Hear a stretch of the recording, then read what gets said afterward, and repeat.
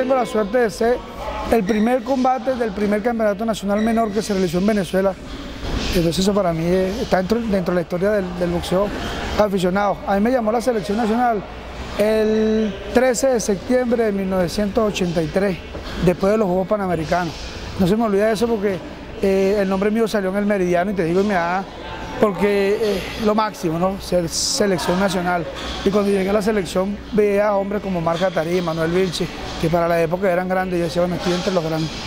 Y eso fue una experiencia linda, eh, ser selección nacional. Y cuando fui a mi primer torneo internacional, que fue un suramericano, imagínate, montarme por primera vez en un avión, eso es lo máximo.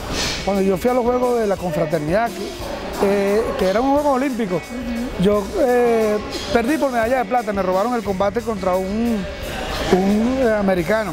Bueno, luego de ese, de ese, torneo, los videos míos, se dice que fueron, eh, lo ponían en Rusia a los niños para que aprendieran cómo se debe boxear olímpico. Eso se dijo muchísimas veces. Eso me llenaba a mí de orgullo, porque un país tan desarrollado como la Unión Soviética que haya agarrado a este indio para que enseñara a los niños es eh, bien lindo.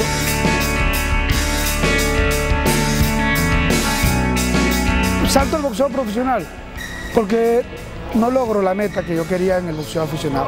Desde que yo me inicié como boxeador amateur, mi meta era ser, emular a Morochito Rodríguez.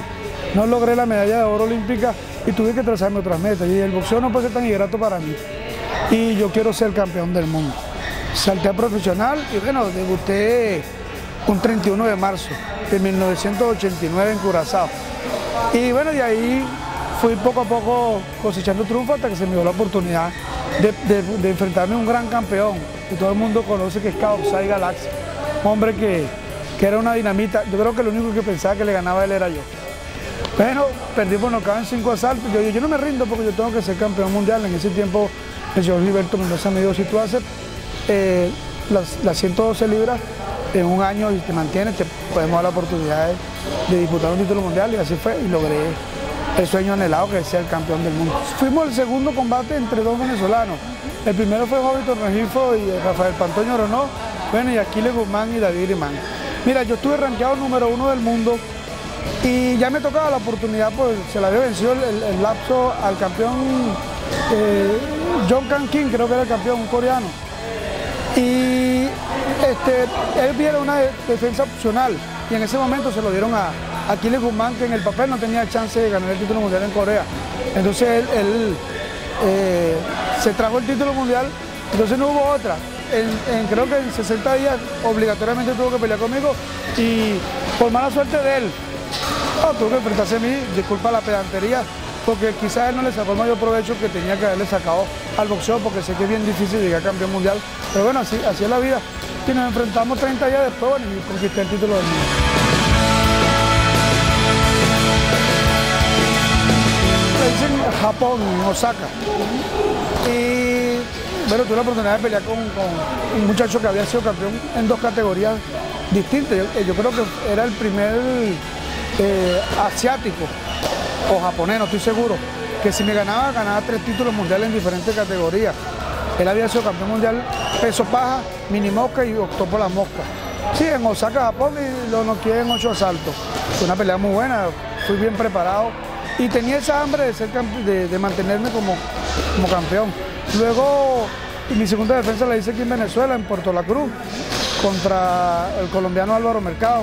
Para mí uno de los combates más duros de mi vida, porque salí bastante golpeado, un hombre que tenía 28 combates, 26 nocaos, y eh, su estilo de pelea me incomodó un poco el mío, y fue un combate duro. Pude al final lograr la decisión unánime, pero salí bastante golpeado. Luego la otra defensa, bueno, la hice en Tailandia, por mala suerte mía, bueno, volví a perder en ese país y eh, perdí el título mundial en mi tercera defensa.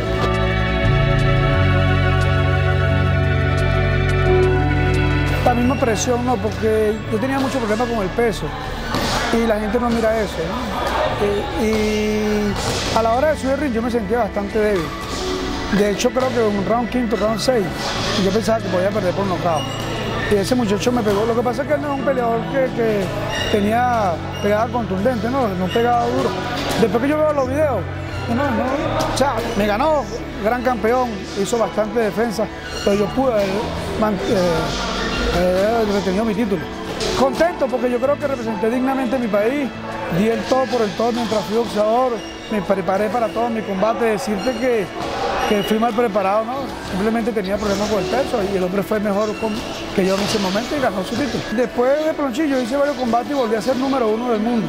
Quería volver a, conquistar el título mundial. Yo peleé con un venezolano llamado Kiki Roja en Maracay, una pelea que, injustamente yo gané, yo gané mi pelea.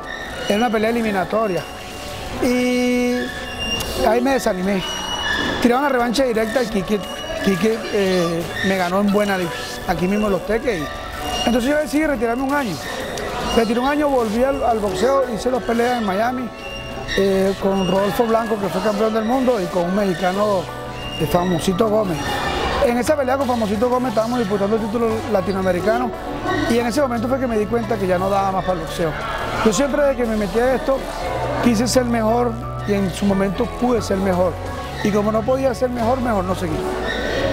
Entonces, a partir de ese momento yo no boxeo más, ya estaba saliendo golpeado, tengo mis hijos, mi familia, y dije, no, ya, me dedico a otra cosa, me puedo dedicar a, entrenar muchachos y gracias a Dios eh, eh, fui, responsable por lo que me gané, y tengo mi familia y estoy bien, gracias a Dios.